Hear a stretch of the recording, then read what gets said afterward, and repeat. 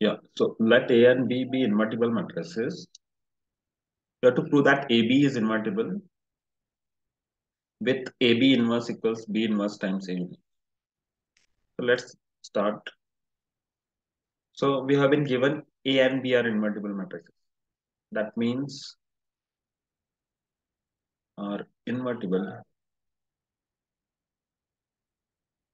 This implies there exists A inverse B inverse in n by n matrices such that A A inverse equals A inverse A equals the identity matrix.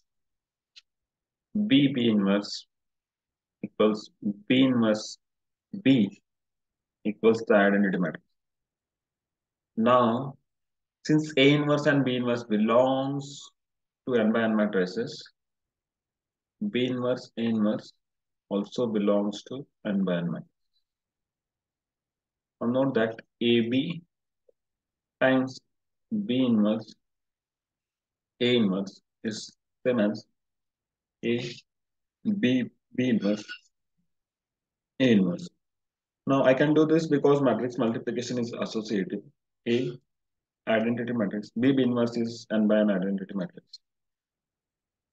This is same as A A inverse, which is identity matrix. Similarly, B inverse A inverse times AB is same as B inverse A inverse A B, which is same as B inverse A inverse A is identity B, which is B inverse B, which is identity. So therefore, AB times B mm-hmm. inverse A inverse is same as B inverse A inverse times AB, which is equal to the identity n by n matrix. What does that imply? That implies the inverse of the matrix AB is nothing but B inverse A.